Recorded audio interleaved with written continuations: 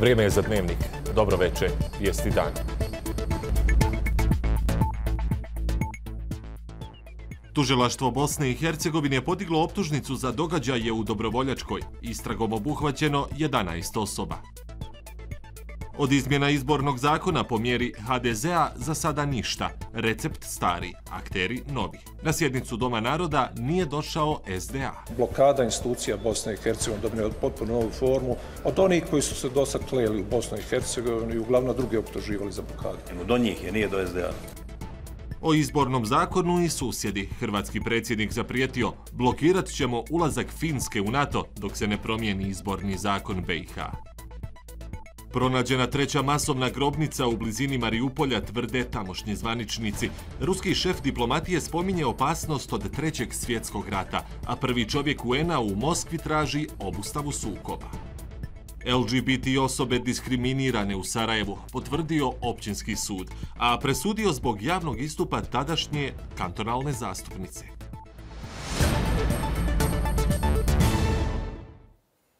Tužilaštvo Bosne i Hercegovine podiglo je optužnicu za događaje u Dobrovoljačkoj ulici u Sarajevu u početku maja 1992. godine. Potvrdio je ovo za našu televiziju portparol tužilaštva Boris Grubešić. Dodao je da je istragom obuhvaćeno 11 osoba, ali da će tek sutra javnosti biti predstavljeno više detalja o samoj optužnici.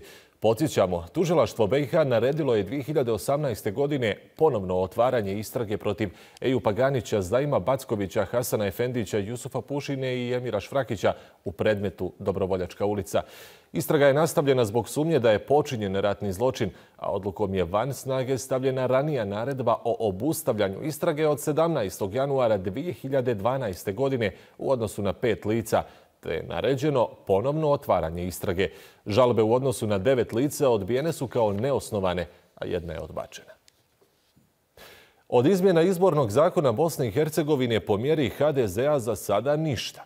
Hitna sjednica Doma naroda državnog parlamenta završila i prije nego je počela. Razlog nedostatak kvoruma. Delegati iz SDA nisu došli. Ovi drugi iz HDZ-a i SNSD-a kažu neviđena blokada.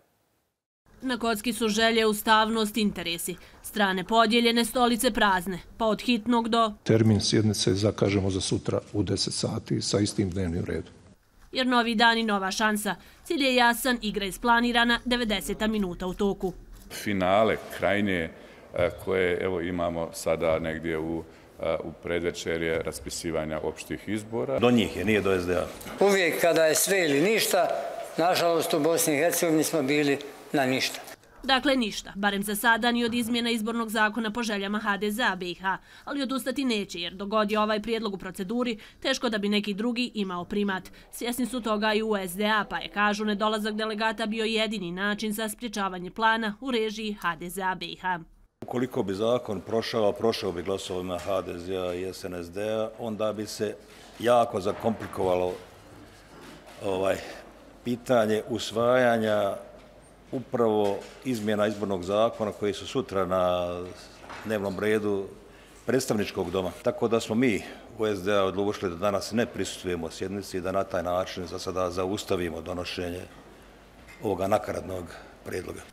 Akteri novi, priča stara, mehanizam nedolaska na sjednice gledamo godinama. Pa ipak u HDZ u BiH kažu iznenađeni su. Očekivali su raspravu, ne i bojkot. Onaj dosadašnji predvođen SNSD-om čini se nisu vidjeli. Mutan pogled ili partnerstvo na dijelu, jer i danas pravac im je isti. Neviđena blokada institucija Bosne i Hercegovine, da ponovim, bez ublažavanja. Ovo je neviđena blokada institucija Bosne i Hercegovine. Jasno je, blokada institucija Bosne i Hercegovine dobine od potpuno novu formu od onih koji su se dosad kleli u Bosnu i Hercegovini i uglavnom druge optuživali za blokadu. Želi se ovladati Federacijom Bosne i Hercegovine od strane, primarno ja ću kazati SDA, a ostali uglavnom šute ili dijelimično komentiraju. Malo ko dobro namjerno očekivao da će na ovakav način stranka demokratske akcije braniti Bosnu i Hercegovinu blokadom jednog doma parlamentarne skupštine Bosne i Hercegovine. Ja vjerujem da će ljudi razmisliti i da će se odazvati u parlamentarne sale da razgovaramo o tako bitnim pitanjima. Prazna sala po svemu sudeći ostaće i sutra. Iz SDA poručuju ne boje se vraćanja istom mjerom jer bojkot je odavno praksa. Nema, nema te stvari koje SNSD ili HDZ do sada nije uradio, iskoristio. Raznovrstne blokade, nedolaske na sjednice, ne bih rekao da će im ovo nešto posebno pomoći dalje u tome. Raspad će se desiti na kraju krajeva na izborima koji će uslijediti. Osim delegata SDA, na sjednici se nije pojavio ni delegat SBB-a Munib Jusifović. Oni koji su došli kako bi glasali protiv dnevnog reda ne odobravaju cijelu priču. Borba je u parlamentu, kažu, a ne ispred njega. Ne treba raspravljati po motelima i hotelima neuma. Oni koji to rade, ne rade pravu stvar. Ovdje treba poštovati principe ustavnosti i zakontosti i vrlo jasno argumentima reći zašto neke stvari treba odbiti, kao što je ovaj diskriminatorski prijedlog HDZ-a. Drugi pak u svemu vide dobro osmišljen scenarij, takav da ni izmjena zakona ni dogovora ne bude. Nadmudrivanje ide tako da će jedni obarati jednima na domu naroda, drugi pokušati na predstavničkom domu, ako ne uspiju na predstavničkom domu, dočekat će ga ponovo na, na domu naroda. To je sva igra, građani treba da znaju da je to, to, to suština. Igra ili ne, novih pokušaja će biti sve češće na mišiće i jednostrano, jer dogovora nema, vrijeme curi, sve pod krinkom interesa države i građana, a u stvarnosti po željama pojedinaca sa svih strana. Bosna i Hercegovina, to smo mi. Svi ostali koji ne misle kao mi, doviđenja. Ambasada Sjedinjenih američkih država u našoj zemlji osudila je poteze HDZ-a, BiH, SNSD-a i SDA u Domu naroda. Navode da je HDZ uz podršku SNSD-a neprimjereno iskoristio hitnu proceduru da bi podnio uzmi ili ostavi prijedloge izborne reforme za koje je ranije zaključeno da su u suprotnosti sa standardima Evropske unije. Podsjećaju da model s dvije liste za predsjedništvo Bosne i Hercegovine predstavlja daljnju etničku podjelu i druge regresivne elemente. Osudili su i odluku SDA da zloupotrebi uvjet za kvorum Doma naroda da bi blokirao raspravu. Navode da je ona također bila nedosljedna. Nesuglasice treba rješavati kroz debatu i glasanje, a ne bojkotom, poručuju iz ambasade. A nakon što su SDA i SBB kvorumom srušili HDZ-ov prijedlog izbornog zakona, HDZ i SNSD su u odsustvu SDP-a i SDS-a na Ustavno-pravnoj komisiji srušili integritet izbornog procesa.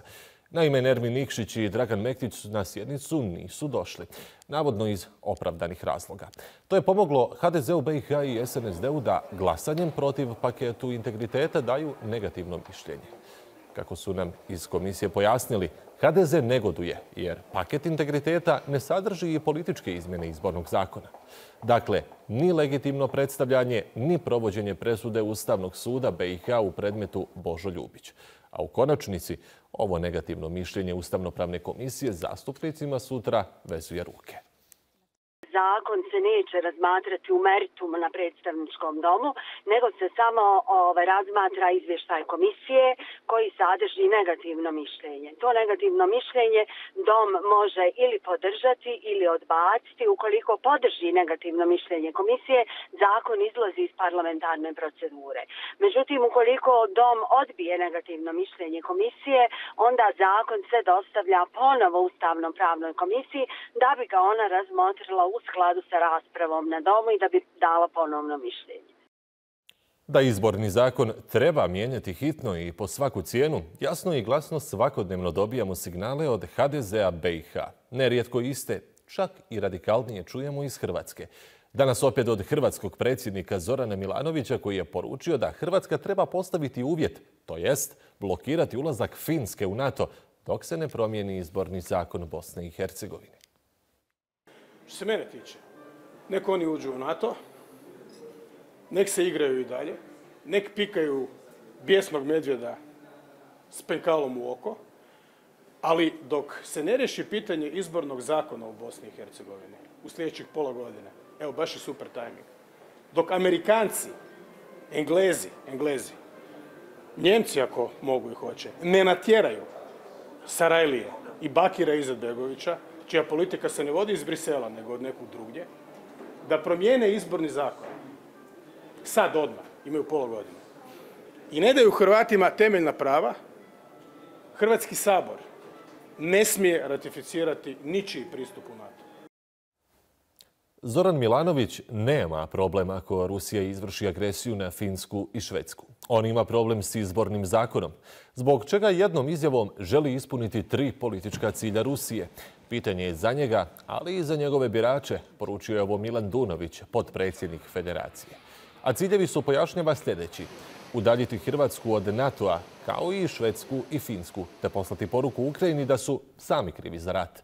I ono treće, izmijeniti izborni zakon po sistemu legitimnog predstavljanja i nejednake vrijednosti glasa. Na izjavu hrvatskog predsjednika reagirali su i iz SDA, ali i naše stranke. Gotovo da nemam nikakve sumnje da je Milanović ili da ne upotrebim pretešku riječ, ali ovaj, u svakom slučaju da ima određenih problema, ili da je zaista ruski igrač na Balkanu, a preko njega također i gospodin Čović i HDZ. Hrvatska ucijenjuje Zapad i NATO. Milanović neće dopustiti ulazak Finske i Švedske u NATO dok za uzvrat ne dobiju izborni zakon u Bosni i Hercegovini po volji Hrvatske. To je opasna pozicija koju je Grčka zauzela u slučaju promjene naziva Makedonije. Vitalni interes Hrvatske je da Bosna i Hercegovina ne bude građanska država. Zagreb je glavni grad svih Hrvata, kaže Milanović. Dok god budu takvi odnosi u NATO alijansi, Rusija će moći ići dalje sa agresijom na suverene evropske zemlje. Žestoke borbe na istoku i jugu Ukrajine. U Mariupolju pronađena nova masovna grobnica. U Moskvi prvi čovjek UN-a Antonio Guterres pokušava isposlovati prekid vatre. NATO je u ratu s Rusijom, poručuje Sergej Lavrov. Istovremeno u Njemačkoj sastanak kako vojno pomoći Ukrajini. Moldavija je pojačala mjere sigurnosti nakon serije eksplozija u oblasti koja graniči s Ukrajinom zbog straha od preljevanja sukoba u tu zemlju. Žestoki napadi i borbe na istoku i jugu Ukrajine ne prestaju. Odjekuju eksplozije u Harkovu kao i Zaporižiju. Po cijeli dan i noć čujemo bombardiranje ranije. Noć bilo manje, ali sada više ne. Bombe su padale ovdje u dvorištu. Ukrajina je spremna za mir. Bila je spremna čak i kada je rat nastavljen u Donbasu. Ali da bismo natjerali Rusiju da traži mir, svaki Ukrajinac mora braniti svoju slobodu. Zvaničnici Mariupolja navode da je identificirana nova masovna grobnica nedaleko od grada. Pokušavaju procijeniti broj žrtava. Mariupol je oslobođen i tamo više nema borbi, konstatirao je ruski predsjednik Vladimir Putin u razgovoru s turskim predsjednikom Tajpom Ređepom Erdoanom. Razgovarao je Putin i sa prvim čovjekom UN-a, koji je u Moskvu kao glasnik mira stigao s porukom da u Ukrajini što prije mora biti proglašen prekid vatre. Ujedinjeni narodi su nekoliko puta pozivali na primirje da bi zaštitili civile i olakšali politički dijalog za postizanje rješenja. Do sada to nije bilo moguće. Mnogi civili ginu, stotine hiljada ljudi su zarobljene sukobom. UN je spreman u potpunosti mobilizirati ljudske i logističke resurse da bi se pomoglo civilima.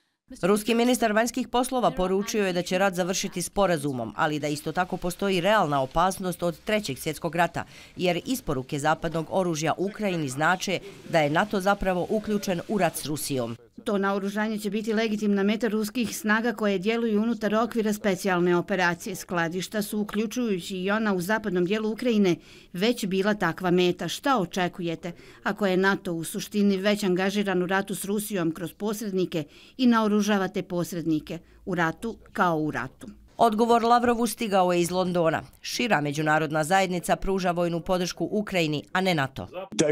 Donatorska zajednica nije NATO. Alijansa je bila uključena u jačanje svog istočnog bloka. Veliki dio naših vojnika i opreme u istočnoj Evropi je pod zastavom NATO-a. Napor donatora okupio je zemlja od kojih su mnoge iz NATO-a, ali ostale su izvan. Nije NATO taj koji pruža vojnu pomoć. O tome kako ojačati ukrajinske odbrambene kapacitete diskutirali su predstavnici više od 40 država država okupljenih na poziv Sjedinjenih država u vojnoj bazi u blizini Frankfurta. Njemačka je objavila svoju prvu isporuku teškog naoružanja Ukrajini i najavila novu, što je velika prekretnica u do sada jako opreznoj politici Berlina. Odlučili smo da ćemo podržati Ukrajinu s protoavionskim tenkovima Gepard. To je potrebno Ukrajini da zaštiti zračni prostor sa zemlje. Njemačka je spremna. Mi ćemo istražiti sve mogućnosti kako da je nastavimo podržavati. Imamo mnogo toga što treba uraditi. Ukrajini je potrebna naša pomoć da pobjedi danas i bit će im potrebna naša pomoć kada se rat završi. Sjedinjene države su odlučile okrenuti nebo i zemlju da bi Ukrajina pobjedila Rusiju, poručuje Ostin. Vojnu podršku Ukrajini pojačat će i Francuska i Poljska. Bosna i Hercegovina će sasvim sigurno imati snažnu podršku Kraljevine Nizozemske, kako kroz bilateralne odnose, tako i kroz evropske i NATO institucije. Izjavio je ovo Šefik Džaferović, predsjedavajući predsjedništva Bosne i Hercegovine. To se moglo, kaže, vidjeti na svim sastancima koje je imao počev od onog s kraljem Nizozemske, te s predsjednikom Senata, predsjednicom zastupničkog doma, do današnjeg sastanka sa premijerom Kraljevine Nizozemske moj utisak koji je ponesen sa svih ovih sastanaka. Imamo velikog prijatelja koji želi da pomogne Bosni i Hercegovini kako bi se izgradila kao efikasna i funkcionalna država i kako bi što prije postala članica Evropske unije i NATO saveza. Sindikat Uprave za indirektno oporezivanje Bosne i Hercegovine, iako je prekinuo štrajk, ne odustaje od svojih zahtjeva. Bolji položaj tražili su ovaj put na državnoj adresi. Komisiji za vanjsku trgovinu i carine Zastupničkog doma Bosne i Hercegovine predočili su svoje zahtjeve, a članovi su za njih imali sluha. No, pitanje je hoće li sluha imati svi državni parlamentarci, jer budžet Bosne i Hercegovine, u kojem bi trebalo biti više novca za zaposlenike uprave za indirektno oporezivanje, u njihovim je rukama, a prije toga u rukama ministara.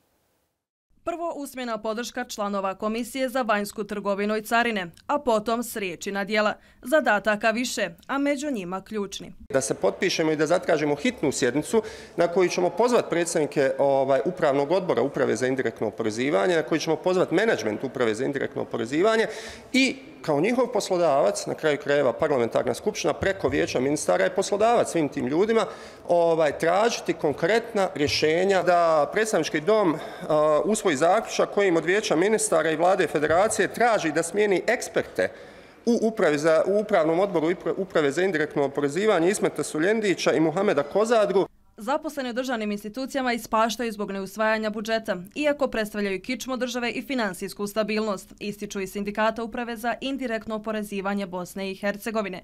Zahtijeva i da im se nakon 13 godina vrati osnovica u iznosu od 535 maraka, te upozoravaju na mogući generalni štrajk ako se njihovi zahtjevi ne ispune. Dugo se borimo da sa raznim inicijativama da ukažemo znači, na sve nepravilnosti uh, u smislu ovaj e, degradacije zaposlenih zaposlenih, e, e, jako niskih plaća, e, u zadnjih 13 godina dva puta smanjena osnovica za plaće koja je, da kažem, zamrznuta, dok, sve, dok prihodi upravo od neizravnih poreza rastu i, i zapravo ti prihodi se prelijevaju na niže instance, na entitete, na županije i općine, a, a zaposleni upravo u našoj instituciji, znači iz dana u dan su u sve nepovoljnijoj poziciji. Nepovoljnu poziciju zaposlenika Uprave za indirektno oporezivanje Bosne i Hercegovine dijele i zaposleni u ostalim državnim institucijama, dok iščekuju reakciju nadležnih i rješavanje mnogobrojnih problema. Troškovi života svakodnevno rastu, a plaće su i dalje minorne. Iako su boračka udruženja Republike Srpske prije samo nekoliko dana stala u odbranu entitetskih vlasti, prekoseći odlukama visokog predstavnika i pružajući otvorenu podršku vladajućoj garnituri u ovom entitetu, Ta ista vlast im danas baš i nije bila blagonaklona. Umjesto da raspravljaju o nacrtu zakona o pravima boraca, povukli su ga iz skupštinske procedure.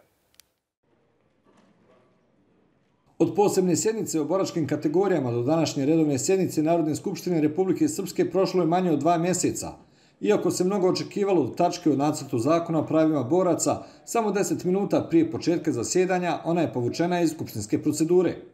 Tačka 19 je na zahtjev vlade e, će biti povučena. To je sve u skladu sa poslovnikom o radu Narodne skupštine Republike Srpske. Postoji i obrazloženje jer ljudi iz vlade smatraju da trebaju dodatne konsultacije sa radnom grupom e, vezano za, za ovaj zakon. Ja se nadam da će to biti na sljedećoj redovnoj sjednici Narodne skupštine koju očekujemo nekada u maju mjesecu da ćemo imati dorađen nacrt zakona zajedno sa e, vladom, odnosno resornim ministarstvom. Nepunu sedmicu ranije baš su bivši borci Vojske Republike Srpske organizovali proteste u ime vlasti, ne zbog svog statusa, nego zbog rada visokog predstavnika. Predstavnici opozicije kažu da je današnji potez aktualne vlasti još jedan šamar boračkim kategorijama, a da je pomenuti protest dokaz grube manipulacije borcima. Kažu, sumnjaju da će u ovom sazivu uopšte doći do poboljšanja njihovog statusa.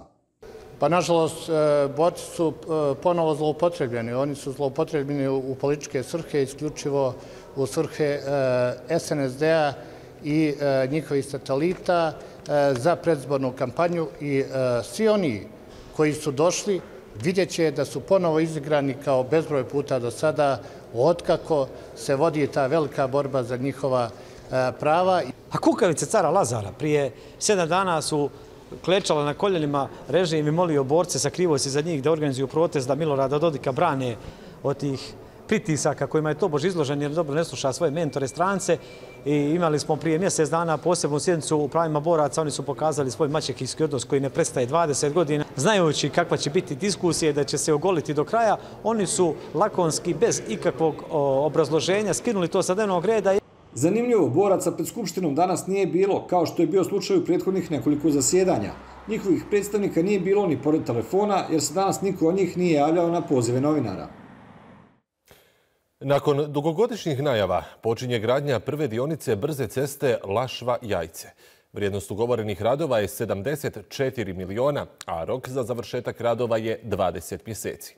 U sklopu izgradnje ove dionice brze ceste predviđena je i regulacija rijeke Lašve na mjestima gdje je u koliziji s trupom ceste. Podsjećamo, Vlada Federacije Bosne i Hercegovine je donijela odluku kojom je utvrdila da je izgradnja brze ceste Lašva-Nević polje od gotovo 25 km od javnog interesa za federaciju i proglasila ga jednim od prioritetnih projekata u Federaciji BiH. Dug život za sve. Tema je ovogodišnjeg okruglog stola povodom obilježavanja Evropske sedmice imunizacije. Sastanak održan u prostorijama Zavoda za javno zdravstvo Federacije, a prisutni su bili i predstavnici UNICEF-a i USAID-a. Govorilo se o značaju podizanja svijesti o imunizaciji te zajedničkim aktivnostima i projektima smanjeni obuhvat imunizacijom kao i oteženo funkcioniranje u pružanju drugih medicinskih usluga tokom pandemije potencijalno može imati dugoročne posljedice na zdravlje stanovništva. Zbog toga i danas ovaj događaj i sve aktivnosti koje poduzimamo tokom sedmice imunizacije, a i u narodnom periodu. Ovdje bih prije svega istaknuo da ćemo u ovoj sedmici zapravo i započeti niz aktivnosti kada je riječ o edukaciji zdravstvenih radnika. Prvi put sa dolaskom pandemije COVID-19 dogodilo se ne samo u Bosni i Hercegovini, nego i u cijelom svijetu da se imunizacija djece ne odvija onim tempom kakvim bi trebalo. Ove godine UNICEF je u partnerstvu sa zdravstvenim institucijama Bosne i Hercegovine pomogao da se uspostavi jedan snažniji sistem, prvenstveno kroz nabavku potrebne opreme za hladni lanac, kroz uspostavljanje efikasnih i međusobno povezanih sistema elektronskog čuvanja podataka, ali smo također ulagali i u profesionalni razvoj zdravstvenih radnika. Općinski sud u Sarajevu je donio prvu prvostepenu presudu u Bosni i Hercegovini kojom je potvrđena diskriminacija LGBT osoba. Presuda se odnosi na javni istup na Facebook profilu 2019. godine tadašnje zastupnice u Skupštini kantona Sarajevo Samre Ćosović-Hajdarević. Pred prvu BH povorku ponosa tadašnja zastupnica u Skupštini kantona Sarajevo je reagovala na najavu povorke statusom koji je odjeknuo u javnosti napisavši Državo, nemaš prava da se žališ sve dok stanje naroda ne popraviš. Veliku važnost i značaj je dobila jedna mala skupina od 15 aktivista i aktivistkinja iz Prijedora, Banja Luke, Sarajeva, Bijeljine, Tuzle i ostalih dijelova Bosne i Hercegovine. Njih 15 je dovoljno da pokrenu inicijativu za povorku i organizuju širom regije te takozvane povorke ponosa koje imaju za cilj da upropaste državu i njen narod. U slobodnom, demokratskom, otvorenom društvu kakvom težimo svakako da Eh, možete kritikovati povorku ponosa, možete imati negativni stav, možete izraziti e, i nepodržavanje. Međutim, e, taj govor i taj stav zaista nisu apsolutni. Onaj moment kada, kada pređete i kada zapravo e, to zađe, zađe u jedan poziv za diskriminaciju, za uskraćivanje prava, za izolaciju, tada već ne možemo da govorimo o nečemu što se zove e, zdravi javni diskurs. Iz Sarajevskog otvorenog centra naglasili su da, iako je presuda prvostepena bitna iz više razloga, osim što je prvi put sud u Bosni i Hercegovini utvrdio postojanje diskriminacije na osnovu seksualne orijentacije, rodnog identiteta i spolnih karakteristika, ova presuda je poruka da je moguće tražiti pravdu i institucionalnu zaštitu upravo zato što mi do danas nismo imali e, predviđeno, odnosno nismo imali presuda, barem da smo mi došli do njih, e, kojim je e, govor mržnje, koji je stalan u našem javnom diskursu, pogotovo kod osoba koji su političari, e, se podvodi pod e, zabranjeni e, tip govora koji je zabranjen zakonom o zabran diskriminacije. Nažalost, e, u Bosni i Hercegovini je praksa da javne ličnosti, ali i političari i političarke koji zastupaju sve građane i građanke ove države, e, znaju da šire govor mržnje, e, da diskriminišu određene grupe i to su najčešće upravo grupe koje pripadaju manjinskim zajednicama, a i LGBTQ osobe jesu jedna od tih zajednica i ovo jeste zaista značajna presuda koja treba da bude negdje opomena e, svima u ovom društvu, naročito javnim ličnostima.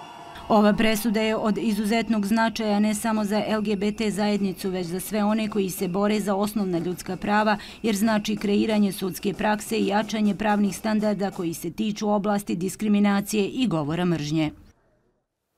U političkom magazinu Mreža gledajte, je li federacija otimala državnu imovinu? Kako je resovi jurišnici iz Srebrenice prijetnjama brane neodbranjivo. Orgijanje resom ili vršljanje Hercegovinom. kako Vučić i Dodik jedan drugom daju alibi. Zbog čega je državna imovina opasno pitanje? Šta želi autokratska vlast režima u RS-u? Koliko prijetnje Šmitu mogu biti opasne? Za mrežu odgovara Mladen Bosić. Mreža odmah nakon dnevnika 2.